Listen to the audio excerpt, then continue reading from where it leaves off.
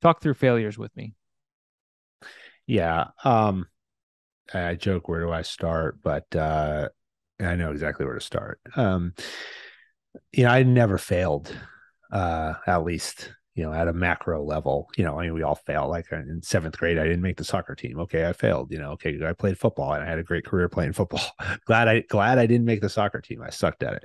You know, um, but I talk about macro failures. You know, you talk about character failures. You talk about areas where where where you really you got sideways and it took a long time to figure that out you know and and for me that happened you know for me i you know my biggest failure which you know i you know, i think i've reversed it now as best you can you know never go back but um was certainly as a, as a husband and a father mm. uh you know i mean i was met you know my my wife we were 18 years old you know freshman in college uh, when we first met and were together you know as all college couples are on and off the whole time we were there. And then you know we got married when we got out and i went in the army and um and then i you know i lived we lived a life apart.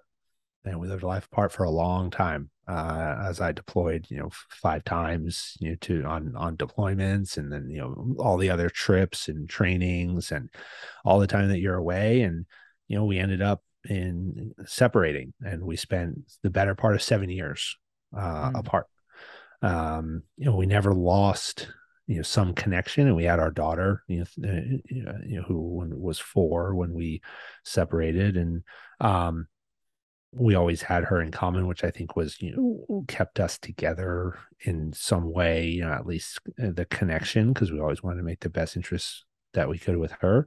Uh, but I had to go, I had to find myself. Um, I didn't know who I was. You know, I joked about professionally having to go figure out what I wanted to be when I grew up, but I, I was at a spot where I had to figure out who I was. Uh, you know, not only not personally, I mean, more than professionally. You talk about people, you know, you look at all the people who generally, not everybody, but generally get out of college and when do you act the fool? When do you make all the mistakes? When do you have, you know, feel, oh, I had the time of my life in my 20s.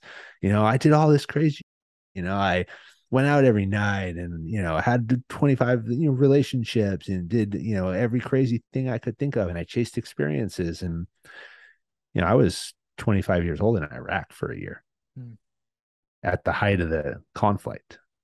When we had to install, you know, we had the surge and we had, you know, the massive bombings of you know and and tremendous amount of sectarian violence i was in iraq. Yeah and you're experiencing from, things you're just not experiencing the same things that everyone else is talking about.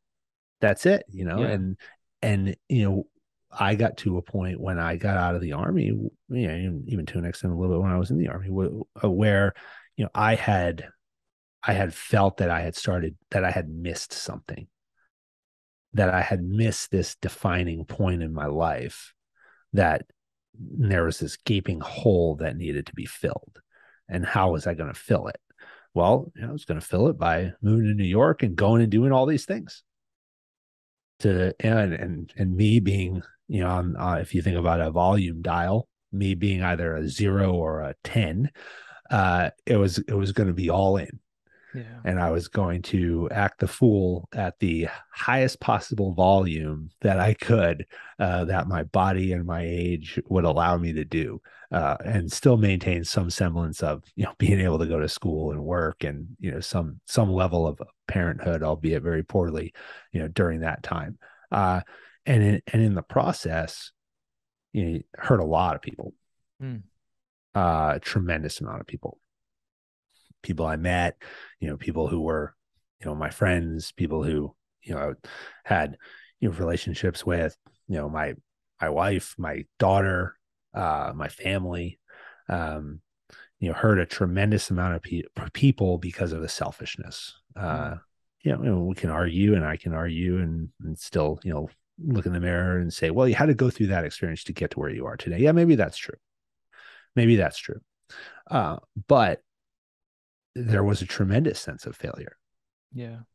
A tremendous sense of, you know, I had these morals, I had these values, I had these things that I cared about, you know, character wise that I believed in for the better part of my life. and then very quickly threw all of those out the window for this sense that I needed to go have some level of experience or or fill this gap that I felt I never had.